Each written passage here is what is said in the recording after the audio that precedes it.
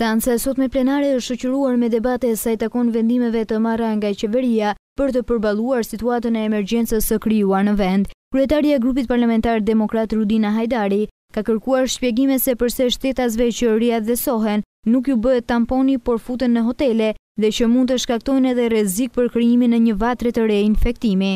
për riatdhesimin. Më falni zonja Balluku, të lutem dua një shpjegim prej jush. Cila është arsyeja që sot ata që po riatdhesohen futen nëpër hotele pa asnjë lloj mase?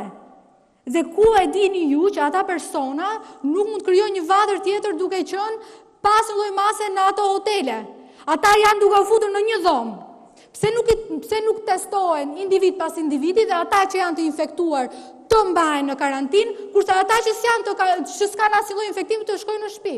Kësaj pikëpyetje i është përgjigjur ministrja e Infrastrukturës Belinda Balluku, e cila tha se është e pamundur të kontrollohen qytetarët nëpër shtëpi, ndërsa në hotelet e kthyera në karantinë, Ata ruhen nga ushtria dhe policia vëzhgon kamerat e sigurisë. Askush nuk mund të shkojë në shtëpi zonja Hajdari pikërisht sepse shtëpitë nuk mund t'i kontrollojmë të gjitha. Nëse ne do shkonim shtëpi më shtëpi të verifikonim nëse ata me të vërtetë jetojnë vetëm apo këto shtëpi janë të pafrekuentuara nga njerëz të tjerë do të ishte e pamundur sepse ky do ishte një shërbim i kostumizuar. Hotelet nuk janë më hotele. Hotele kanë qenë deri para ca kohësh. Janë struktura karantinuese, njëqind e tridhjetë e dy personat kur zbresin nga autobuzi, shoqërohen nga policia e shtetit, nga Rinasi deri në derë të hotelit dhe aty është ushtria që i merr përsipër ruajtjen e hoteleve.